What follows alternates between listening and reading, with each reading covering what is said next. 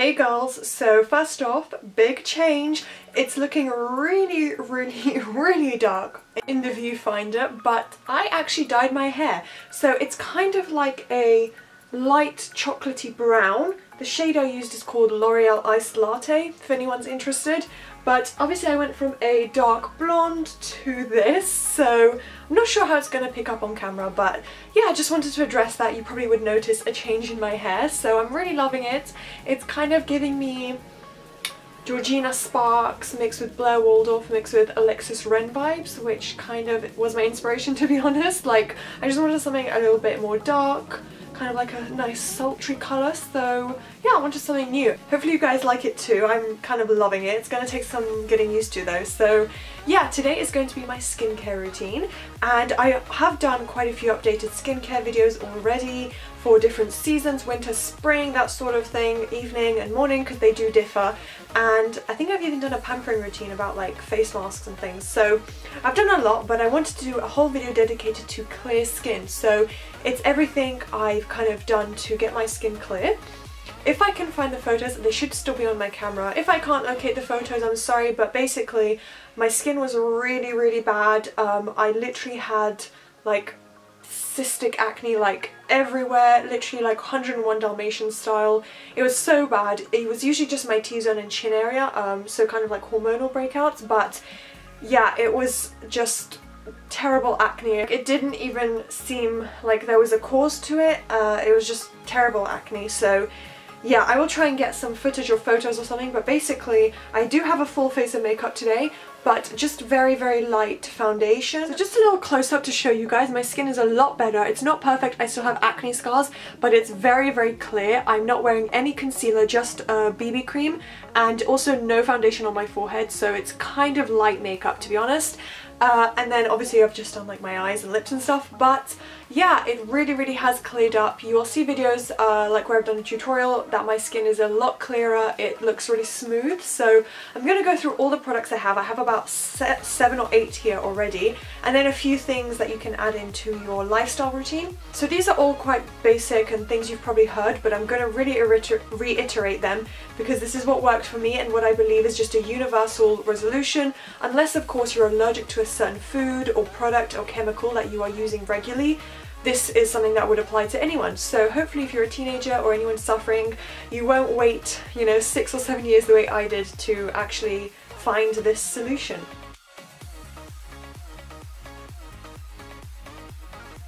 So first thing I will talk about is the number one product. It's a natural oil, it's tea tree oil. So I've mentioned this in previous videos, but I have about seven products that I rotate between that contain this. One of them is very, very affordable, perfect for teen skin, and this is the Boots Tea Tree and Witch Hazel collection. So I've got four products from them. First one is a night treatment gel. It's almost done but this is obviously a very light gel so you can layer it underneath a face oil or uh, more hydrating face cream if you have dry skin. But I think as a preliminary base on your skin day and night it's really good to use. Doesn't clog pores and obviously the tea tree and witch hazel ingredients add a bit of a revive your skin keep it clear kind of soothe any breakouts if that makes sense. So that's what I found using it regularly really really did kind of heal my skin. And then to go with that, I haven't used this yet, but it's the foaming face wash. So when I'm in the shower, oftentimes I will just like to, rather than cleanse, I will just use a face wash. And this is a little bit drying, obviously, because the oils kind of strip out the kind of blemishes and everything from your skin but it says it cleanses and refreshes and keeps skin clear so it will draw out imperfections and because it's just a face wash it's a little bit more delicate on the skin and then to go with that, something that I will use kind of intermittently in my routine is the cleansing and toning lotion from the same collection. So this one is more just so in the morning or in the evening. You don't want to oversaturate your skin with this product, any kind of oil. You do want to use like maybe maximum once a day because honestly, if every single product you're using contains tea tree or witch hazel, it's just going to really strip your skin and make it more sensitive because you're just overloading it with that one product. And I would use this maybe once a week alongside a face mask. It's an exfoliating face scrub. So this, this, this has those exfoliating beads of course, but it's a lot lighter, more gentle. I found that it really didn't irritate my skin because I have sensitive cheeks, a little bit of rosacea, and it didn't really do anything. So yeah, even though my skin's combination, these products all work really well in conjunction with everything else I'm using. Now something else, because I ran out of those products recently, I was um, actually using Body Shop products. This is one of the best products I've ever used. It's what I started with last So nearly six months ago, and honestly, it's um, kind of revolutionized my skincare routine. It's the Body Shop Tea Tree Anti-Imperfection Daily Solution, and this one is kind of just, it has a dropper, so you just apply, you know, a few drops over your face, you can pat it in, and I've shown it in a few of my skincare routine videos, and it works amazingly. It's kind of it's like 80% tea tree oil, so a very, very natural, kind of organic, yeah, natural product for your skin, so it shouldn't irritate your skin at all. Just found that it works really well. You can read up on everything that's been reviewed about that product. And then I also have something else from this collection, haven't tried it but it was highly reviewed and I had a 40% discount code.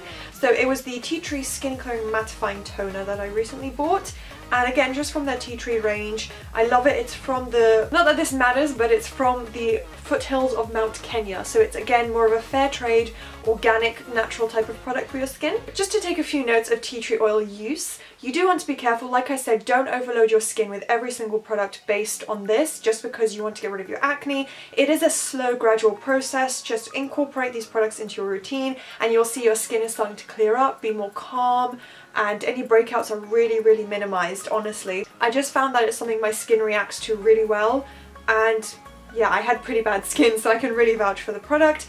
Just don't oversaturate your skin, which I keep saying, but it is important because it can kind of strip the protection of your skin, make you more sensitive to the sun. You want to be loading up with SPF just to make sure you don't do any damage to your skin. Having said that, it is good for summertime if you're sunburnt. That mixed in with a bit of aloe vera will really minimize and soothe your skin.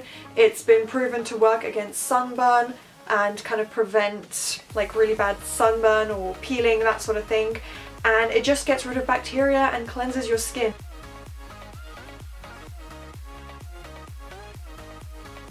One last similar skincare oil that I like to incorporate, this is witch hazel oil. Another great oil you may have heard of, it's incorporated in those Boots products I just mentioned.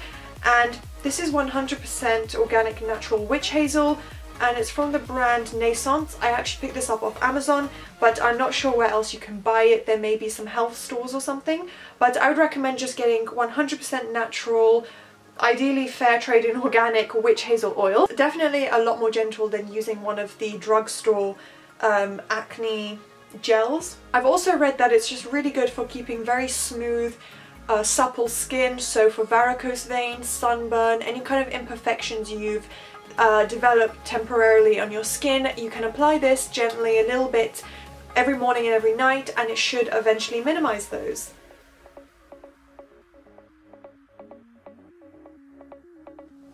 The final product I have to show you guys is rosehip oil. This one is 100% organic and it's from Botanics, which is a Boots brand. So because it's organic, it's just a lot more natural, better for your skin. You're not putting nasty chemicals on. And rosehip has just so many amazing benefits. And I have oily skin and I used to have a lot of bad acne, so don't be scared that I'm recommending an oil because honestly, there's just a lot of research into it and I can't really cover it myself so you can do more research to see if your skin type is appropriate for this oil but there are basically so many oils to choose from. There will definitely be at least one that works well with your skin type. So I use this in the evenings because obviously an oil in the morning might be too heavy uh, to put makeup over so I just pat this on like five maybe six drops all over my face my lips just soak my skin in it before bed and my skin looks really soft the next morning so I'm planning on reviewing this on my blog, so stay tuned for that for a more in-depth view. But rosehip, let me just tell you the benefits of those as well. So it again prevents the clogging of pores, it's just a very light, delicate oil.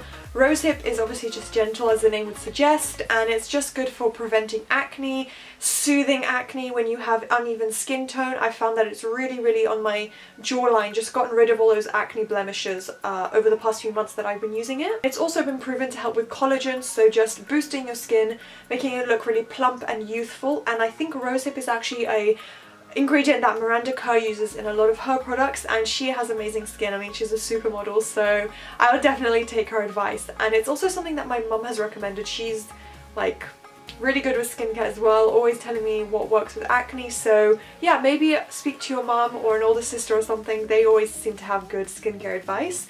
One last thing that you really need to recommend, apart from drinking water, which of course I think any girl that is having, or guy who's having skincare issues, really is not drinking enough water. I know that was my issue. I'm getting a lot better. I always have about a litre to a two litre bottle of water on me and I try and aim to get through through that entire bottle before the end of the day and then in the evening I'll have about three more glasses of water so I'm getting closer to having my two litres of water and you can also just increase your intake of fruit and veg which has a high water content anyway so you'll be still hydrating your body. And in my opinion that seems to just really flush out toxins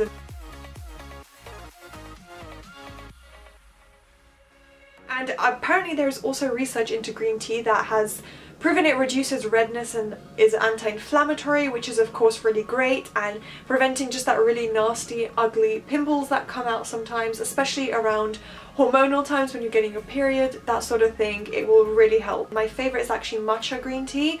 So that again has its own benefits. I don't want to go into that in this video because it'll be about 20 minutes long but it's a really really good alternative to just plain green tea. So just incorporating all these things into my routine has just really like like I said revolutionized my skincare routine and as you can see my skin's a lot clearer. I don't even have to wear concealer anymore. I hope you guys learned something. Hopefully you were already using some of these but if you didn't don't forget to thumbs up subscribe for more skincare videos and tips and I will see you guys next time. Bye